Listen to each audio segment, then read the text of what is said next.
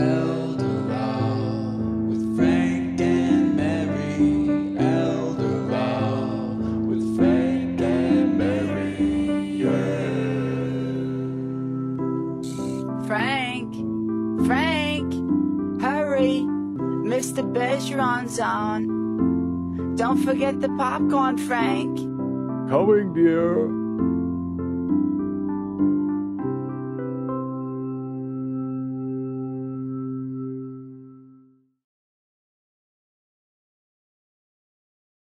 My name is Arthur Bergeron. Uh, I'm an attorney at um, Mirick O'Connell.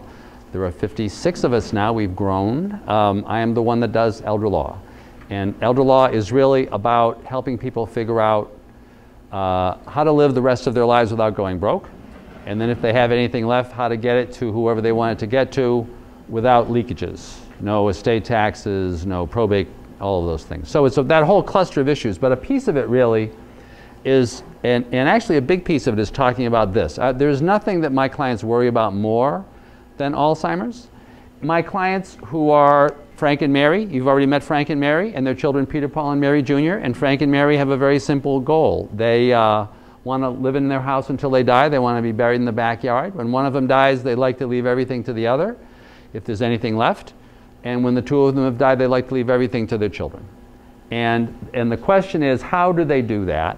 And the thing that they worry the most about, and this is the situation we're going to talk about today. What if Mary starts getting more forgetful than usual and is seeming, to, you're, you're repeating a lot, and she just seems, the question is, is something going on with Mary? Is she just getting old? That's what we would always assume. Until fairly recently, Alzheimer's, the term Alzheimer's really wasn't talked about very much. And the first thing that you want to do if you or your loved one, your spouse, um, is, is showing things that you are concerned about and you're worried about whether or not these may be symptoms uh, of Alzheimer's or of another disease that causes dementia, call them. Call the Alzheimer's Association. This is, this is a national organization, but it has state chapters and it has, among other things, that 24 hour hotline. You can call day or night. If you're, if, if you're awake in the middle of the night because you're just stressed out over this, because you're saying, Is something happening to me? What's going wrong? Or if there really is an emergency because your spouse is about to start beating on you and you're like, Why is this happening? First of all, get away from your spouse, but then call.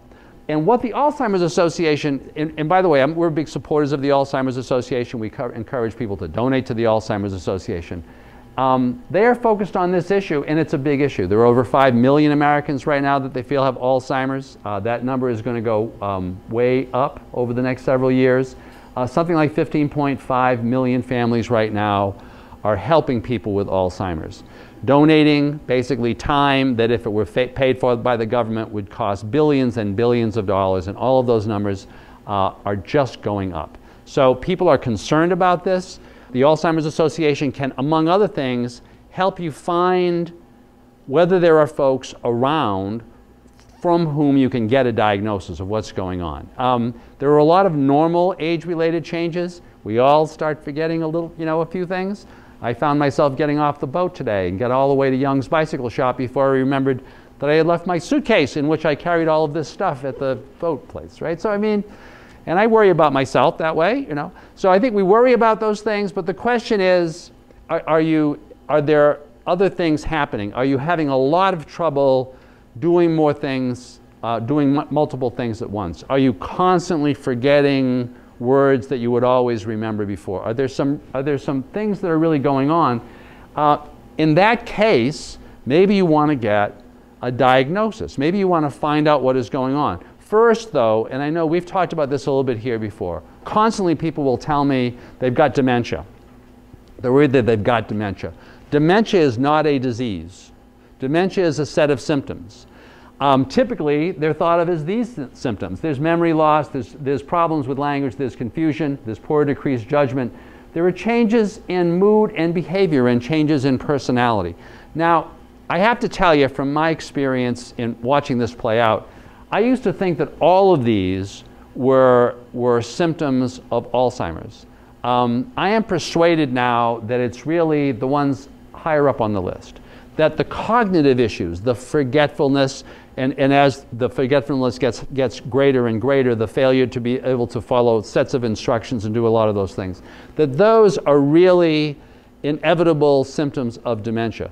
But that the other stuff, the anger and the aggression and the apathy and these tremendous emotional things that you go through, are really, they are people's responses to the to the, to the fact that they're losing their memory and these other things and they're just getting really frustrated or embarrassed or a whole bunch of things. Or their responses to the way that other people are dealing with them. People constantly telling them, how come you can't remember that anymore? I just told you that five times, you know. So a lot of what the Alzheimer's Association is now working with people on is really trying to train the trainers, basically, trying to help people who are dealing with dementia regularly um, to understand the ways to help those folks continue to live meaningful and purposeful lives, just lives in which they don't have such great memories. So I think that's really important. So um, you also want to kind of know that there are a set of things that cause dementia that are all reversible. Uh, brain tumors, normal pressure hydrocephalus, infection, depression. Depression causes a lot of dementia. I've had clients who've been in the hospital who've been given various medications uh, or they've had a uri- gotten a urinary tract infection and start, and start showing dementia symptoms, and all of a sudden they're getting a diagnosis of Alzheimer's. Whereas as soon as the, once they get out of the hospital, all of this stuff reverses. So one of the reasons why you want to get a diagnosis is you want to be able to see whether there are, there are things causing your dementia. If you're Mary right now and you're Frank, things causing your dementia that are reversible. If it's not, then you want to know kind of what is causing it. And because while Alzheimer's is the cause of about 70% of all of the cases of people who are getting advanced stages of dementia, um, there are several other possibilities. Parkinson's disease is one. Vascular dementia, these like little mini strokes that cause you to kind of start slowing down. There's Lewy body dementia. You want to know about this one because Lewy body, if, if, that is, if, if, if it is Lewy body disease that is causing the dementia, then you are experiencing more hallucinations um, if you are treated with certain kinds of drugs because uh, they think you have Parkinson's, um, they can really hurt you if you have Lewy body. So you want to get the right diagnosis.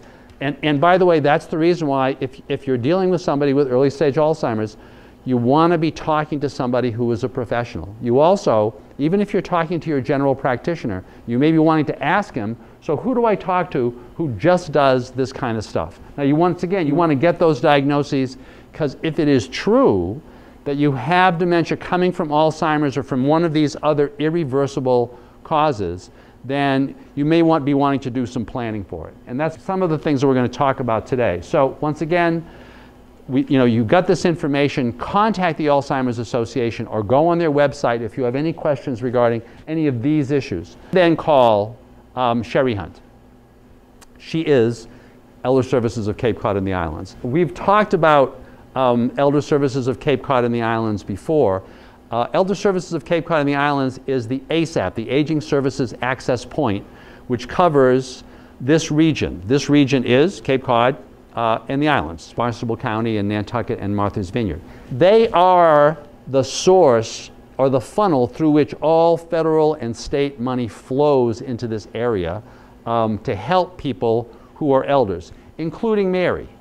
Uh, you will find, if you talk to um, Sherry, that even for Mary who has early stage Alzheimer's, so she does not have such a severe condition that she, is, that she would be qualified for kind of major programs like the Frail Elder Waiver through Mass Health and other things, even in these early stages, Frank and Mary may very well be qualified to have services delivered at home between 6 and 12 hours of services at home per week. Um, those services are going to get delivered if you're Frank and Mary and you have total assets of $800,000, if you own your home that's worth 400,000 and Frank has an IRA and they have savings of 200,000, they have substantial assets and Frank has substantial income. He's got a social security check of 1500 a month. He's getting a pension of 750 a month. Mary's getting half of his social security check, so she's getting 750. So they've got income of $3,000 a month. They can qualify for these programs through Elder Services of Cape Cod and the Islands. Elder Services also has respite programs. Uh, they have uh, caregiver programs, support groups. There are a lot of things that can be that that Frank and Mary can take advantage of. Now, as Sherry will also tell you, because this is the island, there are some things that in many parts of the state you could take advantage of that you can't here because some of these programs are not available.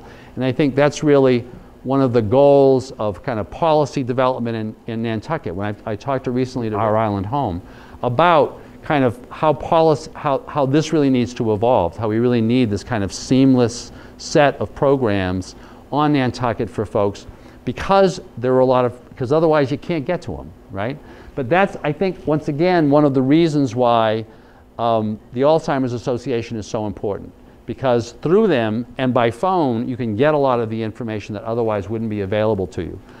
There is a wonderful woman named Carol DiRienzo that I was hoping to have speak to you today, but she couldn't do it. So I want to bring her back. Because one of the things that I wanted to spend a few minutes talking about is if you're Frank and Mary, and your goal is to die and be buried in the backyard, and, and so you really want to stay home, I'll always tell people home is a great place to be, uh, and, you, and the best place to be because as your dementia progresses, the last thing you're gonna, that you're going to forget is where the bathroom is in your own house and where the salt and pepper shakers are. So it's really a really a great place to be, but your house has to be safe. One of the things, actually, this, this woman and her, her husband is a, a contractor, and they basically will come into your home and they'll go through your home and just talk to you about what you could do to make it safe. They charge you a fixed fee of like several hundred dollars. But then if you've got repairs to make, then they'll do them or you can have somebody else do them. But one of the things that she's really made me appreciate is when, when you think about making your house adaptable, what you think about, at least what I would always think about is, oh, you mean put in a ramp? right? And that's, you know, put in a ramp. I get that. But really, it's about looking room by room in your house and doing these things, trying to simplify the house, label things, make it secure, and then modify the house if necessary. Carol always uses this example because the, one of those slides is her daughter's room. I said to her, Does your daughter have dementia? Well, no, her daughter just is a 17 year old daughter, so it's kind of a mess. But one of the things that she really emphasizes is the goal, if you have someone with dementia living in the home, is to simplify the home, to get rid of the clutter, to make sure that people aren't going to fall down, to actually cover mirrors as a person is progressing with dementia. They're going to be looking in the mirror and not knowing who that person is. So as things go along, you may want to do that. But in the short run, remove scatter rugs, throw rugs, portable space heaters, fans, because folks with dementia may be touching those things, kind of not knowing that they're there removing poisonous plants from the house because these folks may find themselves wanting to eat some of those things, right? So there, there, there are a whole bunch, removing fish tanks, um, removing artificial food or magnets from the house just because they may end up getting used inappropriately.